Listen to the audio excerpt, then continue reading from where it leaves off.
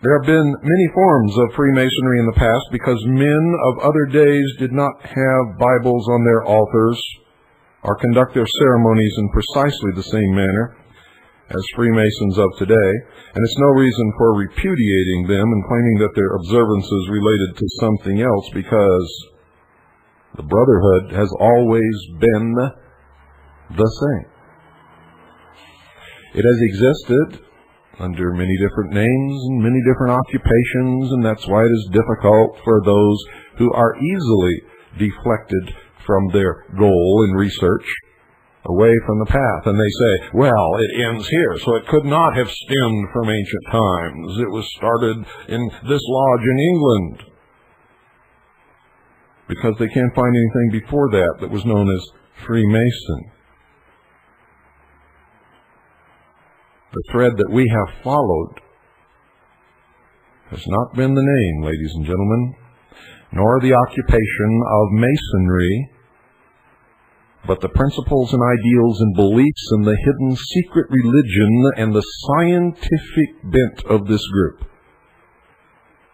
And when you learn to conduct your research along those lines, the path stands out like a neon tube on the darkest night.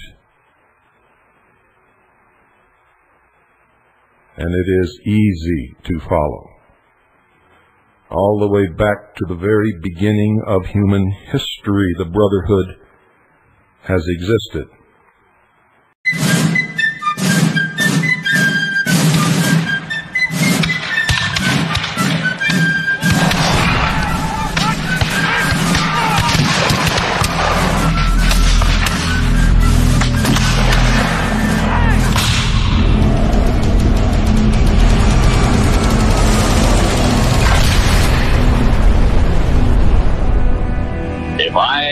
Were the devil. If I were the prince of darkness, I'd want to engulf the whole world in darkness, and I'd have a third of its real estate and four-fifths of its population, but I wouldn't be happy until I had seized the ripest apple on the tree. Thee. So I'd set about, however necessary, to take over the United States. I'd subvert the churches first. I'd begin with a campaign of whispers. With the wisdom of a servant, I would whisper to you as I whispered to Eve, do as you please. To the young, I would whisper that the Bible is a myth. I would convince them that man created God instead of the other way around. I would confide that what's bad is good and what's good is square. And the old, I would teach to pray after me, Our Father, which art in Washington. And then I'd get organized. I'd educate authors in how to make lurid literature exciting so that anything else would appear dull and uninteresting. I'd threaten TV with dirtier movies and vice versa. I'd peddle narcotics to whom I could. I'd sell alcohol to ladies and gentlemen of distinction. I'd tranquilize the rest with pills.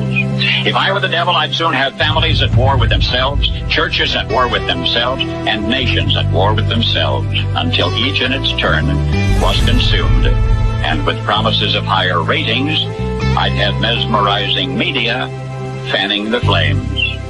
If I were the devil, I would encourage schools to refine young intellects, but neglect to discipline emotions, just let those run wild. Until before you knew it, you'd have to have drug-sniffing dogs and metal detectors at every schoolhouse door.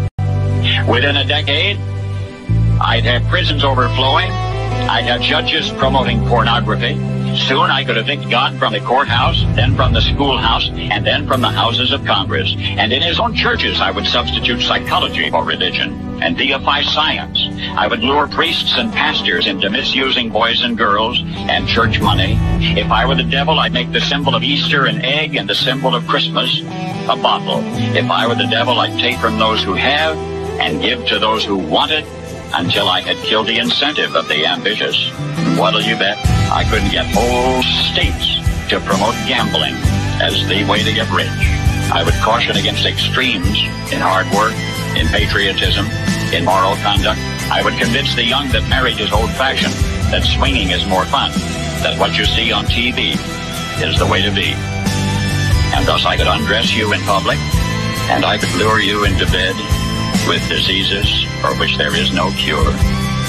In other words, if I were the devil, I'd just keep right on doing what he's doing. Paul Harvey. Good day.